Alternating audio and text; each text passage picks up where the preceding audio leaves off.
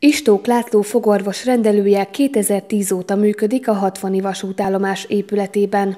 Miskolcon már 2004 óta üzemel magánfogászati ügyelete. Az ottani munkája során tapasztalta meg, hogy nagy igény van a hétvégi rendelésekre is. Ennek alapján döntött úgy, hogy 60-ban is nyit egy rendelőt, ahol a hét két napján, kedden és csütörtökön OEP támogatott fogászatot üzemeltet.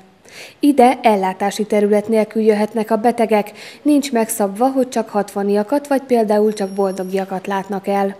Emellett vasárnap pedig magánfogászatként ügyeletet tartanak.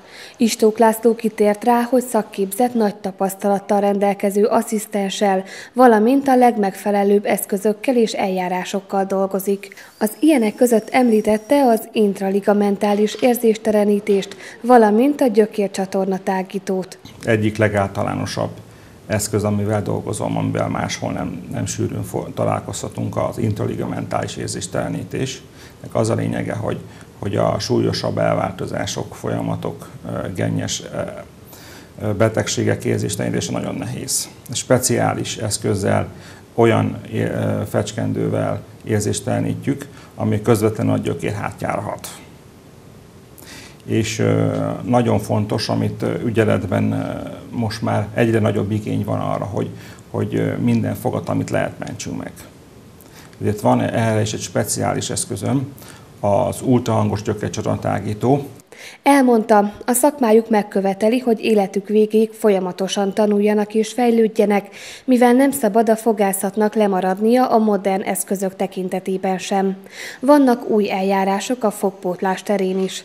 Lehet olyat is, hogy, hogy például csak egy fogat csiszolok le, és, de úgy, hogy minimálisan, csak a, hogy el van színeződve kívül, minimálisan csak a külső felszínét csiszolom le.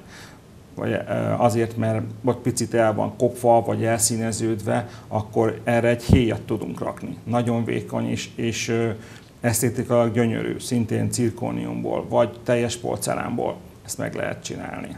Beszélt arról, hogy fontos szempont az esztétika, ezért sokan fogfehérítés miatt is felkeresik a fogorvosokat. Ennek három módját említette. Az egyik, amit nem ajánl, ha a boltban magunk vásárolunk meg ilyen készítményeket. Ennek hátránya, hogy nincs orvosi kontroll, nem lehet tudni pontosan milyen szín lesz a végén.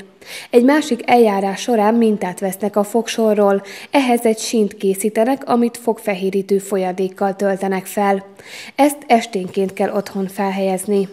A harmadik módszer, mikor az orvos egy zselét ken fel a fogakra, és speciális lámpával megvilágítva aktiválja azt. Ennek a segítségével akár 3-4 árnyalattal is fehéredhetnek a fogak.